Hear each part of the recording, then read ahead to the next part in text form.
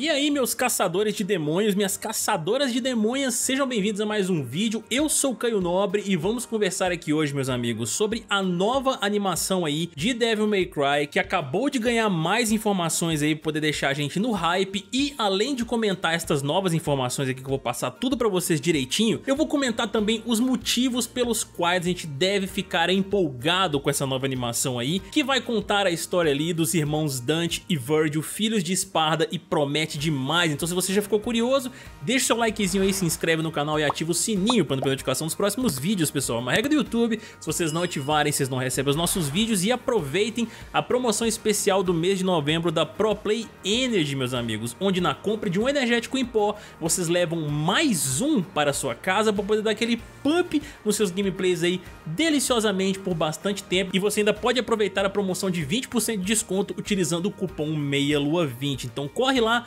Primeiro link aqui embaixo no comentário fixado, basta acessar lá e fazer a sua compra e é claro, vocês nos ajudam nesse processo aí também. Então vamos lá meus amigos, antes de eu passar a notícia propriamente dita aqui pra vocês, eu preciso trazer um ponto que é muito importante aqui e que já entra também nessa questão dos motivos pelos quais nós devemos ficar empolgados com a série do Devil May Cry, nessa série animada no caso, porque ela está sendo produzida por ninguém mais ninguém menos do que Adi Shankar, que se você não está familiarizado com esse nome aí, ele é um dos produtores, um dos responsáveis pela série animada na Netflix de Castlevania. E olha, eu vou falar um negócio com vocês. Eu não tinha assistido ainda, eu sei que tem por volta ali de quatro temporadas na Netflix, e eu comecei a assistir recentemente, e eu vou falar com vocês, o negócio é bom demais, cara. Se você ainda não assistiu, eu recomendo com força que você corra lá e assista já. Eu já tô no finalzinho da segunda temporada, ainda tenho mais duas pra poder assistir. E por que, que eu tô comentando sobre o Castlevania e por que, que ele é um dos principais motivos aí? Mano, simplesmente porque os caras capricharam de uma maneira absurda em termos de história, entendeu? A forma como ela é contada, a apresentação de cada um dos personagens, os diálogos inteligentes que eles têm ali, entendeu? Que eles construíram no roteiro e principalmente a sanguinolência, cara. A forma como eles construíram essa animação ali é um um negócio assim que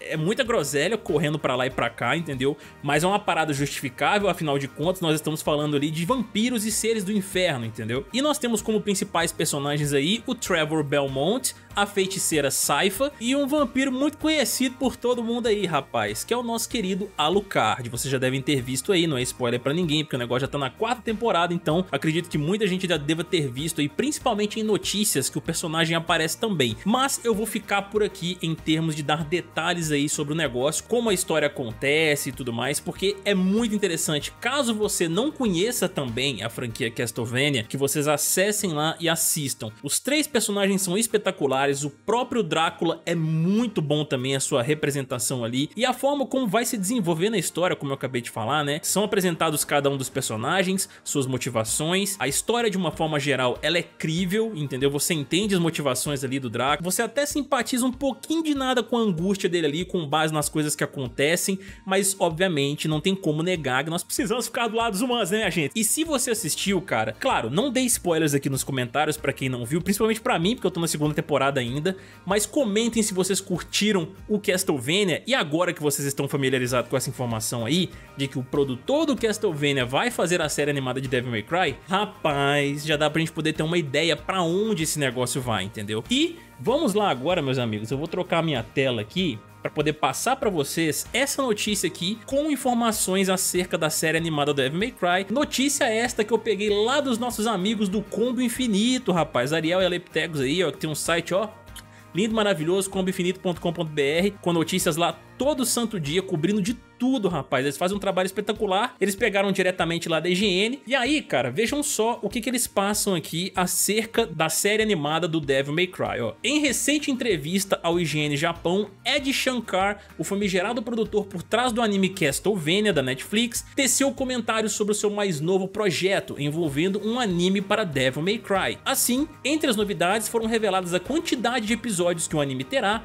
bem como a presença de personagens dos fãs, Por fim, Shankar expressou como é empolgante estar trabalhando em um projeto da Capcom. Aí eu vou ler aqui a declaração do próprio Shankar, se liguem. Os roteiros da primeira temporada estão prontos. A primeira temporada incluirá oito episódios, mas a história não terminará aí.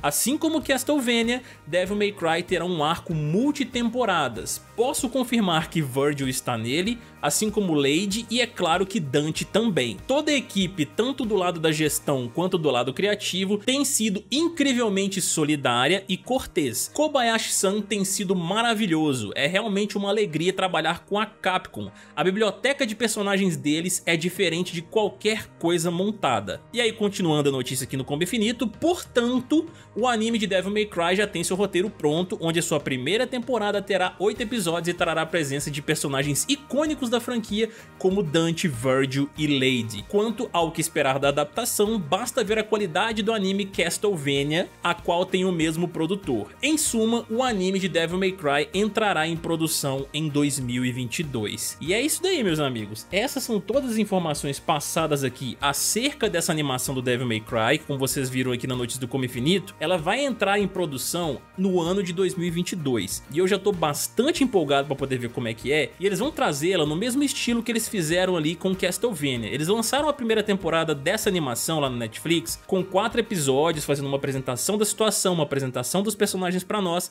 e deixando um gancho muito da hora para a segunda temporada. E aí, o resultado foi tão da hora, a galera gostou tanto que eles produziram mais temporadas, tanto é que a gente já tá na quarta, né? E cada uma delas aí, a primeira temporada tem 4 episódios, a segunda, se eu não me engano, tem 8 e as outras duas tem 10 episódios, entendeu? Então eles já aumentaram um pouco esse número aí. Então eles vão primeiro testar o terreno ali com a primeira temporada de Devil May Cry e aí, fazendo sucesso, cara, como eles disseram aqui na notícia, eles têm planos para poder fazer diversas temporadas dessa animação, deste jogo da Capcom também, para poder desenvolver aí diversos arcos que eles irão apresentar de cada um dos personagens, além da história geral ali que a gente vai seguir aos olhos do Dante, entendeu? E eles falaram aqui que vão ser esses personagens por enquanto, mas a gente sabe que tem muitos aí pra poderem aparecer, a gente não sabe exatamente em que ponto da história do jogo eles vão adaptar, então pode ser que não vejamos, por exemplo, Nero aparecendo por enquanto.